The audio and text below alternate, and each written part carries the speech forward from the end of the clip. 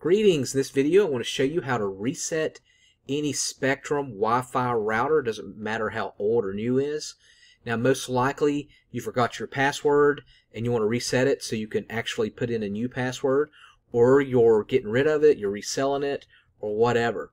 So this particular one is a Wi-Fi 6. It's one of the newer models but again it doesn't matter how old or new it is. So on the very back here you're going to see it have a reset. So it's either going to say reset or it's going to say factory reset to something to that degree. And it's going to look like a little button like this on some models. It's got like the two arrows. You might have one that says factory reset and there's going to be like a little pinhole that's going to be beside it. And you can only access that if you put uh, like a paper clip in there.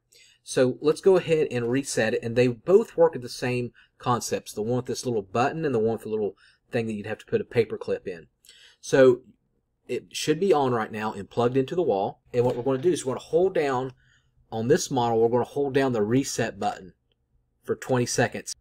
And don't let go for go ahead and count 20 seconds.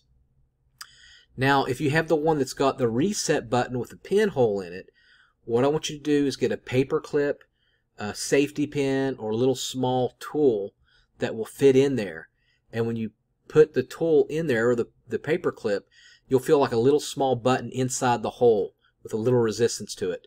What you're going to do is use that paper clip to smash down that little hole very lightly, and you're going to hold it down for about 20 seconds. The same concept. Then you want to let go. As you can see here, I have this little tool here as an example of something you could use. You'd put it in that little hole there, and you'd hold it down for 20 seconds. Go ahead and get connected to the Wi-Fi, connect it up, and then see if you're able to get internet connection. Now there's going to be like a little default password. So on this particular model on the Wi-Fi 6, it's going to be on the right here. It'll say default password. It'll be some kind of name like Bubble Top or something like that. Could be on the side or just look around. And what you're going to do is you're going to type in that default password. And if you're able to get on the internet with that default password, you know you successfully reset your password.